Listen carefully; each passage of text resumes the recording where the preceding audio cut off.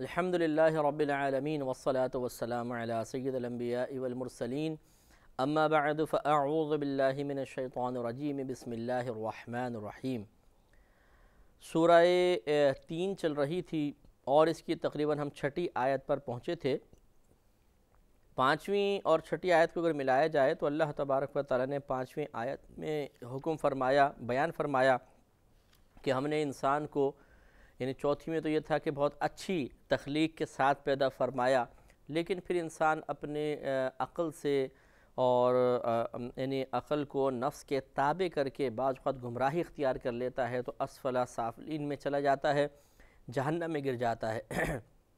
हाँ लेकिन कुछ इंसान ऐसे भी हैं कि जो अपनी अक़ल को नफ्स व शैतान के मुकाबले में हमेशा मलहूज रखते हैं और कामयाबी इख्तियार कर लेते हैं। उनका तस्करा करते हुए शायद फरमाया इल्लदीन आमनु मगर वो जो ईमान लाए, व आमिलसालहत और उन्होंने नेक आमाल किए, फ़लहम अजर गैर ममनून तो उन्हें ऐसा सवाब है जो जिसकी कोई हद और कोई इंतहा नहीं है।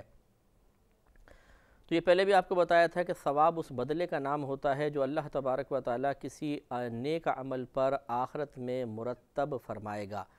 तो गोया कि हमारे नेक आमाल का इतना बदला दिया जाएगा कि जिसका कोई शुमार नहीं कर सकता।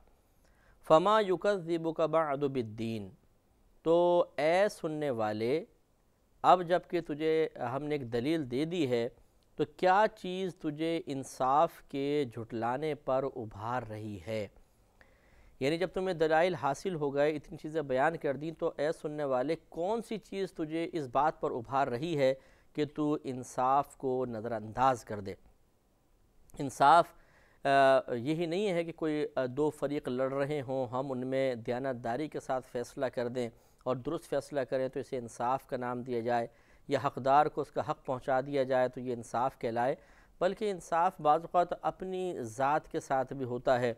इंसान इंसाफ से काम ले आ, सही तरीके से अपनी ज़ात के लिए जो हकूक़ हैं उनको हासिल करने की कोशिश करे तो नतीजा ये निकलेगा कि अल्लाह की नाफरमानी नहीं करनी चाहिए, नफ्स की ताकत नहीं करनी चाहिए, शैतान की इतबा नहीं करनी चाहिए, अल्लाह ताला उसके रसूल का कहना मानना चाहिए। यही अपने साथ इंसाफ है, क्योंकि अगर हम इस तरह ना करें, बल्कि अल्लाह ताला और उसके रसूल करीम सल्लल्लाहु अलैहि वसल्लम के हुक्म के जवाब में नफ्स शैतान की इतात करें तो फिर हम अपने साथ नाानसाफ़ी करने वाले हैं, जुल्म करने वाले हैं, और ये चीज़ हमें जहन्नम में लेकर जाएगी।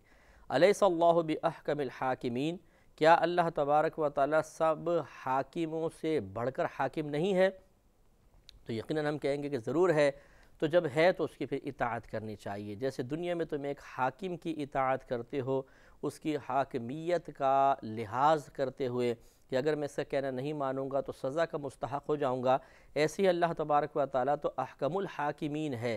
तमाम हाकिमों का भी हाकिम है तो उसका कहना तो बदौरजा औला मानना चाहिए, लेकिन इसमें अक्सर कोताही हो जाया करती है। यही समझाना मकसूद है कि दुनियावी आम हुकामा का कहना मानते हो, लेकिन अल्लाह तबारक व ताली की इतात से मुँह मोड़ते हो, ये एक बेमरवती की बात है और गलत है।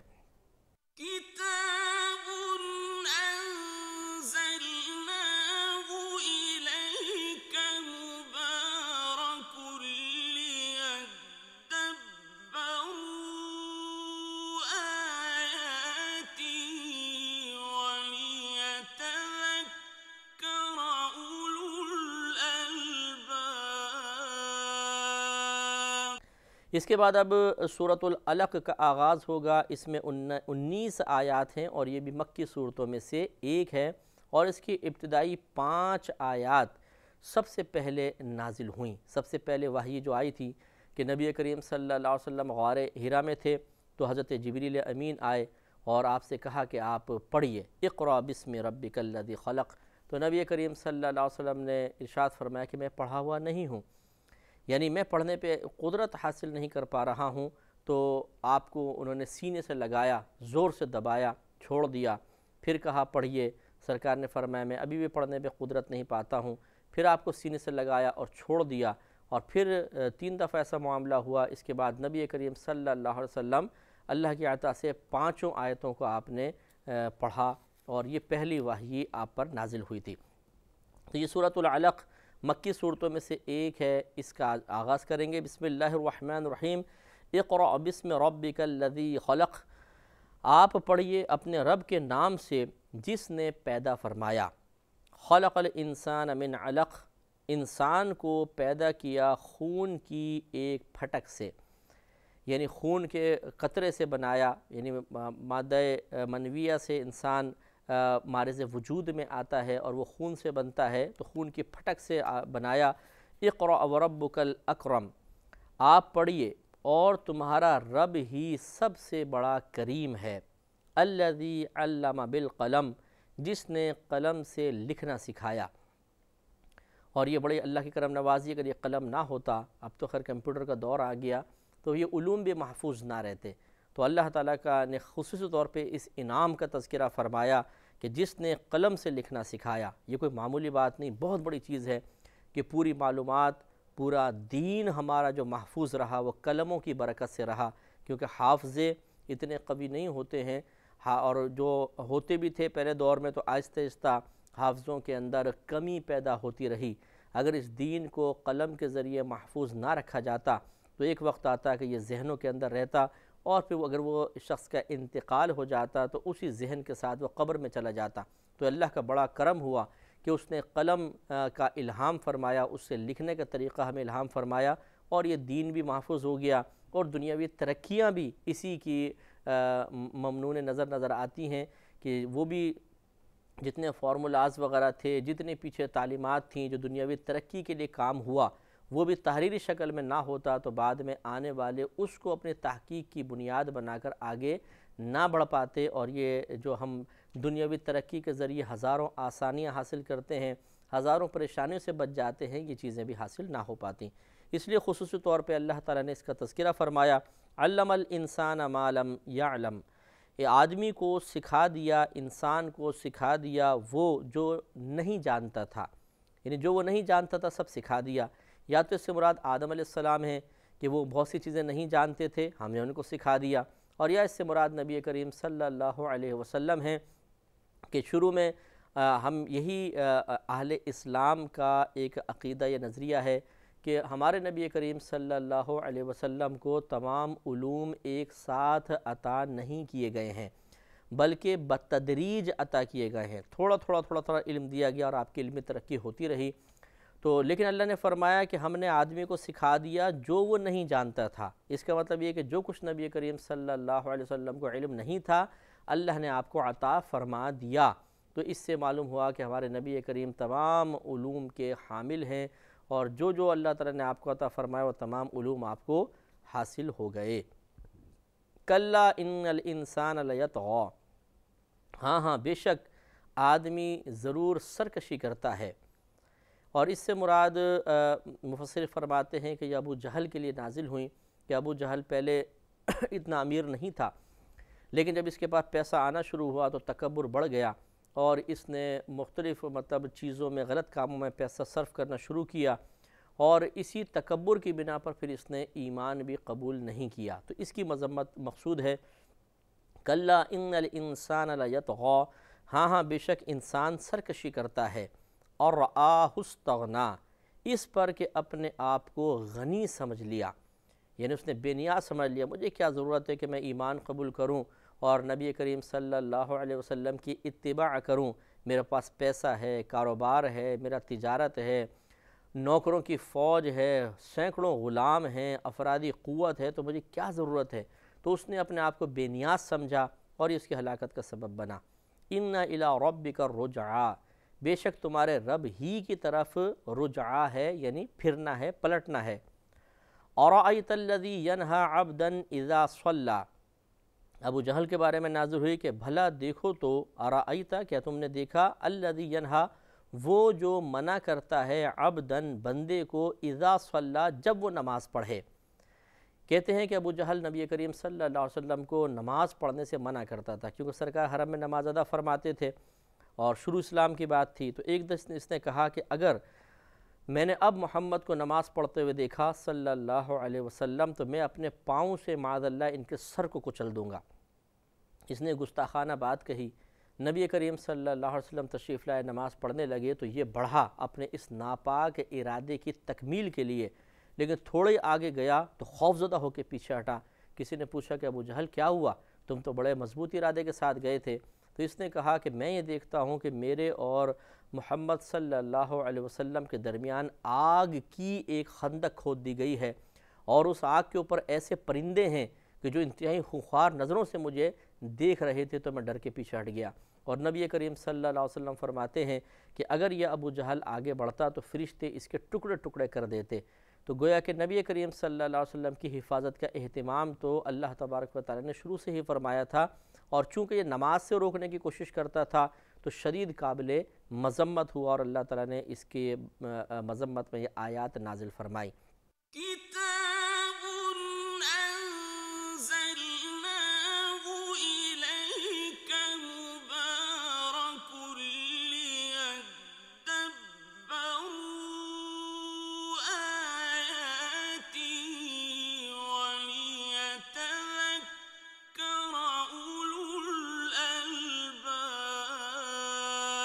इससे वो भाई भी और बहनें भी सबक हासिल करें, जो अपनी औलाद को नमाज़ से रोकते हैं। बेटा ट्यूशन पहले जाओ, नमाज़ बाद में पढ़ लेना। स्कूल कॉलेज पहले, नमाज़ बाद में। कारोबार पहले, नमाज़ बाद में। नौकरी पहले, नमाज़ बाद में। तो अल्लाह ताला को ये शदीद बात नापसंद है कि उसने हमें कारोबार करने, पढ़ने या दुनियावी मालो मता जमा करने के लिए नहीं भेजा। असल तो आखरत की तैयारी है। हम उस आखरत की तैयारी के लिए अगर इन चीज़ों को हम वसीला ज़रिया और इसबाब बनाना चाहें तो मना भी नहीं है, लेकिन उस असल मकसूद को कायम रखते हुए। चुनाचे नमाज़ आखरत की तैयारी के लिए चूँकि मुआविन है तो अब ऐसा नहीं कि हम आखरत को फरामोश करके जो चीज़ें वसीला और ज़रिया हैं उन्हें अपनी मंजिल करार दे दें और नमाज़ को ही तर्क कर बैठें, ये गलत होगा।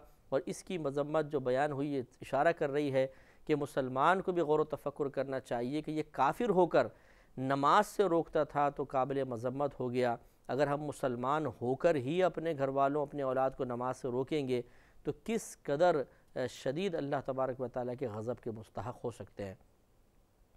और आयता इनकान अलहुदा अव अमर बितवा ज़रा देखो कि अगर वो हिदायत पर होता या तकवे का हुक्म देता, ये सिर्फ़ शर्त बयान की, जजा बयान ने की तो मुराद ये तो क्या खूब होता। यानी ये कहना का मकसूद है कि अगर ये हिदायत पर होता और तकवे का हुक्म देता तो कितना अच्छा होता। लेकिन ऐसा ना हुआ। और आयता इन कज़बा व तवल्ला, और ज़रा देखो तो अगर इसलिए इसने झुटलाया और मुँह फेरा तो इसका क्या हाल होगा?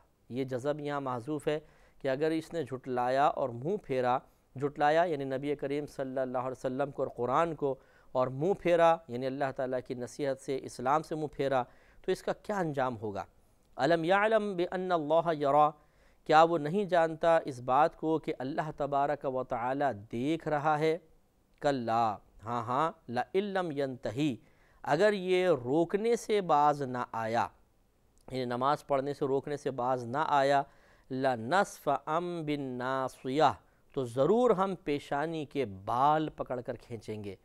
यानी बरोद क़्यामत फ़रिश्तों को हुक्म दिया जाएगा और उसको बालों से घसीटा जाएगा। नासियतिन का ज़िबतिन ख़ातिआ कैसी पेशानी? झूठी ख़ताकार पेशानी। यानी पेशानी का ज़िक्र करके कुल मुराद लिया जा रहा है, यहाँ पे जुज़ बोल कर कुल मुराद ले रहे हैं तो ये कैसा ख़ताकार, कैसे पेशानी है? किस शख्स की पेशानी है जो झूठा है, ख़ताकार है? इस शख्स को बरोद क़्यामत पकड़ा जाएगा और मुराद अबू जहल है, लेकिन हुक्म आम है कि जो भी दीन इस्लाम की तरक्की की राह में रुकावट बने या इबादात की इबादत के क़्याम उनको कायम करने के राह में रुकावट बनेगा, उसका अंजाम ये हो सकता है। फल यद ना दिया तो चाहिए कि वो पुकार ले अपनी मजलिस को। नबी करीम सल्लल्लाहु अलैहि वसल्लम ने जब इसको डांटा कि तुम मेरे नमाज़ से उसको रोकने की कोशिश कर रहा था, सरकार ने इसको धुतकार दिया तो इसने कहा अच्छा मैं अभी फिर आवाज़ देता हूँ अपने हम मजलिसों को और वो पूरी की पूरी फ़ौज है और वो आप पर हमला करेगी। तो अल्लाह ताला ने शाद फरमाया फ़ल यद ना दिया तो चाहिए कि वो बुला ले अपनी मजलिस को सनद ओ ज़बानिया अभी हम अपने सिपाहियों को बुलाते हैं। यानी हम फिर फरिश्ते भेजते हैं, कल्ला हाँ हाँ क्यों नहीं? ला तो ए हबीब करीम अलैहि वसल्लम, आप हरगिज़ इसकी इतात ना करें, इसकी बात ना सुने। वसजुद और सजदा कीजिए वक़रीब और हमारा क़ुर्ब हासिल कीजिए। ये आयत सजदा थी इन मैं भी सजदा करूँगा। जो भाई बहन सुन रहे हैं, अगर चाहें तो एहतियातन सजदा कर लें। अगरचे रिकॉर्डेड चीज़ को सुनने पर सजदा वगैरह लाजिम नहीं होता। ये प्रोग्राम हमारे रिकॉर्डेड होते हैं लाइव नहीं होते हैं। लेकिन फिर भी एहतियातन कर लें तो इसमें कोई हरज नहीं है। तो यहाँ तक सूरतुल्लक़ का अख्ताम हुआ और इसके बाद अब सूरतुल्क़द्र है, बड़ी ही मशहूर सूरा है। जिसमें नज़ुल कुरान का तस्करा है, रमज़ान का तस्करा है, पाँच आयात हैं, मक्की सूरतों में से एक है। बिसमीम इन्ना फ़ी लैलतिल बेशक हमने इस कुरान को लैलतुल्क़द्र में नाजिल फरमाया। कुरान लैलतुल्क़द्र में दुनिया के अंदर नहीं उतरा था, बल्कि मुराद ये है कि लोहे महफूज से आसमान दुनिया पर ये पूरा कुरान एक साथ नाजिल किया गया। और फिर आसमान दुनिया से दुनिया में बतदरीज तकरीबन तेईस साल की मुद्दत में इसकी तकमील हुई है। तकरीबन तेईस साल की मुद्दत में। तो ये मुराद है कि आसमान दुनिया लोहे महफूज से आसमान दुनिया पर एक साथ हमने कुरान को नाजिल फरमाया। तो मालूम ये हुआ, अगर हम इस सूरत को देखें, जैसे आगे अल्लाह ताला खुद इरशाद फरमा रहा है कि ये रात हज़ार महीनों से बेहतर है। इसमें बरक़ात वगैरह हैं तो अगर इसका असल सबब तलाश करने की कोशिश की जाए तो नज़ुल कुरान बनता है कि चूँकि अल्लाह ने इस रात में नज़ुल कुरान फरमाया, कुरान को नाजिल फरमाया, वो भी लोहे महफूज से आसमान दुनिया पर, ज़मीन पर नहीं। तो इतनी इसमें बरकत हो गई कि अल्लाह ताला ने इस रात के अंदर बड़ी बरक़ात रख दी, इबादत का सवाब ज़्यादा कर दिया और इस रात को सलामती करार दिया, फ़रिश्तों का नज़ुल होता है। तो गौर तफ़क्र फरमाएँ कि जिस रात में कुरान नाजिल हुआ, इतनी बरक़ात हों। और जब वो रात हर साल आती रहेगी, उसकी बरक़ात वैसी ही रहेंगी जैसे वो रात थी जिसमें हकीकता कुरान लोहे महफूज से आसमान दुनिया पर आया। तो जब कुरान की इतनी बरकत है तो जिस पर कुरान नाजिल हुआ, यानी साहिब कुरान, यानी हमारे नबी करीम सल्लल्लाहु अलैहि वसल्लम वो जिस दिन में पैदा हुए, जिस रात में पैदा हुए, उसमें कितनी बरक़ात होंगी। और जिस तरीके से शब कद्र हर साल आती है तो अपने साथ बरक़ात लाती है तो यकीनन वो औकात जिसमें नबी करीम सल्लल्लाहु अलैहि वसल्लम दुनिया में जलवा फरोज़ हुए, बरकत वाला था, वो साल भी जब जब पलट कर आएगा, यानी वो तारीख़ दिन आएँगे तो बरक़ात भी साथ आएँगी, उन्हें हासिल करने की कोशिश करनी चाहिए। वाखर दावाना अनिलहमदिल्ला रबालमीन